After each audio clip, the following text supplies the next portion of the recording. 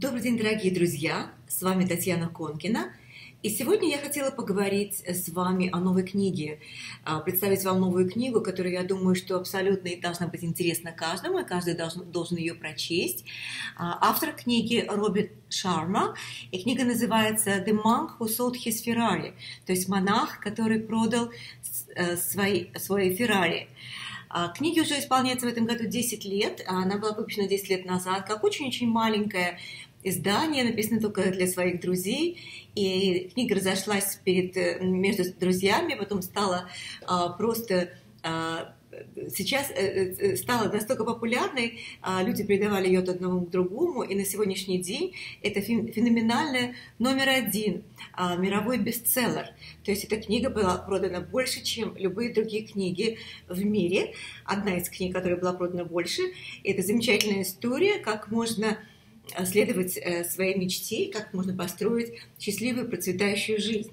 Великолепная книга, э, еще раз, те, кто ее, наверное, читали 10 лет назад, замечательно, и надеюсь, что это много вам дало, и вы этим пользуетесь, а те, кто нет, обязательно купите, обязательно прочтите, даже не могу переоценить ее значение. Поначалу она кажется очень простенькой, даже не совсем правдивой.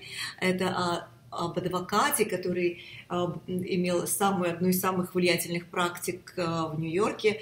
Очень-очень богатый человек, у него был свой Феррари, был огромный офис. Он выиграл почти все криминальные дела.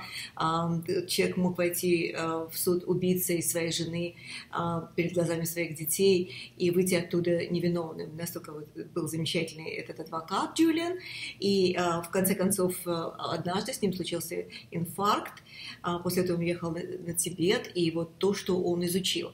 То, что он выучил там, философия тибетских монахов, описывается в этой книге. Может быть, это, конечно, он не был на Тибете, я не знаю, это художественное произведение, но настолько а, настолько замечательно это все показано, те вещи, которые, может быть, мы знаем, о которых мы уже говорили, но здесь это так э, наглядно все проиллюстрировано, как, например, э, конечно, он говорит очень много, в первую очередь, о важности позитивного мышления, о том, как негативные, негативные мысли разрушают наше здоровье и наш э, мозг, как это очень серьезно влияет на нас.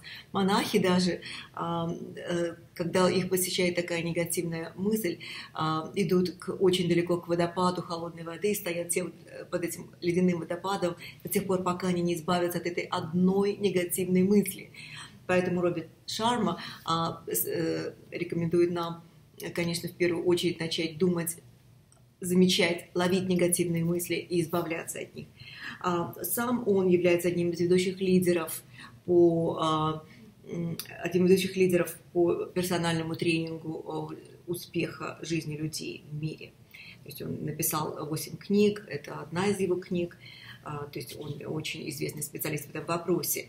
Вот как, например, он сравнивает наш мозг, который, как он говорит, Э, наверное, самое главное, что у нас есть. Нет ничего важнее нашего мозга, а, потому что это, единственное, чем мы можем управлять. Это единственное, что действительно а, подвластно нам и, и действительно принесет огромную разницу в нашу жизнь, если мы научимся правильно управлять нашим мозгом. Он сравнивает его с замечательным садом, в котором растут великолепные розы, а, ассоциируя это с мыслями, с великолепными.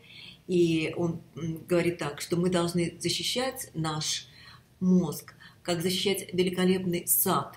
Э, там должен стоять э, сторож на входе в этот великолепный сад, чтобы в этом саду не прорастали сорняки, которые в итоге разрушают уничтожают, как мы знаем, любой сад. А, вот великолепное сравнение нашего мозга с этим садом. Ну и, конечно, он очень-очень интересно еще рассказывает о том, что, как, как, э, что такое фокус. Потому что мы великолепно знаем о том, что мы не, можем ничего сделать в жизни, если мы не сфокусируемся. А, если мы не, не приложим к этому не только усилия, но если мы э, проблему, которую нам нужно решить, будем э, относиться с, с определенным фокусом. Он сравнивает это с увеличительным стеклом, которое помогает зажечь костер. Мы можем иметь бумагу, мы можем иметь где-то в лесу оказавшись, мы можем иметь дрова, но мы никогда не сможем зажечь огонь э, без спичек так легко, как с увеличительным стеклом, которое поймает солнышко и очень легко зажжет наш костер, а, необходимую энергию, которая нужна нам. Замечательная, замечательная книга, очень-очень рекомендую всем ее почитать. Кто, кто, кто сейчас, э, кто ее еще не читал или кому сейчас нечего читать, получите огромное удовольствие, принесет большую разницу в вашу жизнь. Робин Шарма говорит о том, что известное выражение о том, что наш мозг плохой хозяин, но очень хороший слуга. И мы должны научить э, его служить нам. Он приводит э, такой э, один из экспериментов, как научить это. Это взять розу и на протяжении времени, там, сначала 5 минут в день, как вы сможете, максимально, насколько вы сможете, смотреть внимательно на эту розу и думать только о ней, какая она красивая, как она хорошо пахнет, а, и так научиться концентрироваться и тренировать свой мозг. А, он говорит о том, что мозг так же точно, как и мышцы.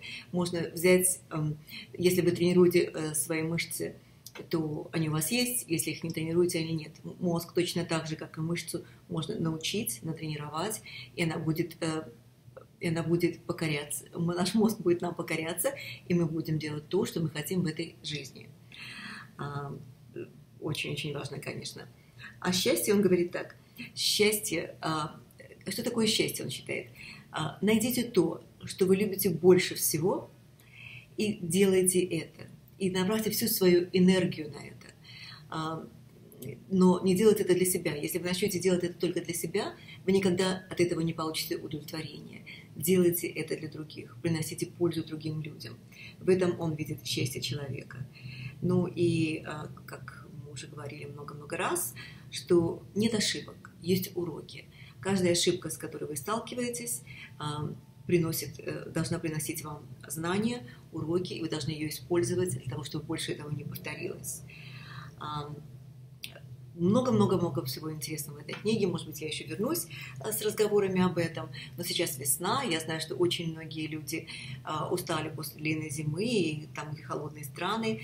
Наверное, у них немножко такая еще только начало, начало, хорошего настроения летом, летом поэтому э, избавляйтесь от негативных мыслей, гоните от себя негативных людей как чуму, как проказу, будете их точно так же, э, держитесь от них подальше, думайте только о хорошем, заменяйте, научитесь заменять свои плохие мысли на хорошие, э, потому что мы то, что мы думаем. А люди отличаются от животных тем, что они могут управлять своими мыслями, и, могут, и это делает людей людьми. А, ловите свои плохие мысли, заменяйте их на хорошие. Всего вам самого-самого хорошего, замечательных вам выходных. С вами была Татьяна Конкина. Увидимся еще раз. До свидания.